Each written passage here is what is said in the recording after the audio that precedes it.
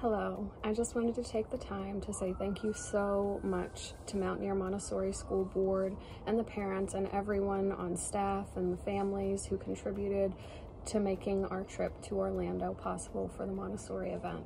It was such an enriching and incredible experience and I came back with so many exciting plans and ideas for the future.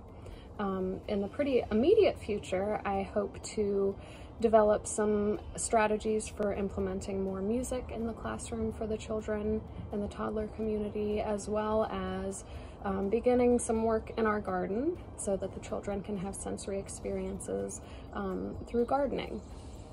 In addition to those things, I also attended workshops with focus on um, equity and inclusion practices, and I'll be working with the school on using the Equity Examined Framework, um, which was recently published by the American Montessori Society, just to assess and take a look at our equity and inclusion practices within the school.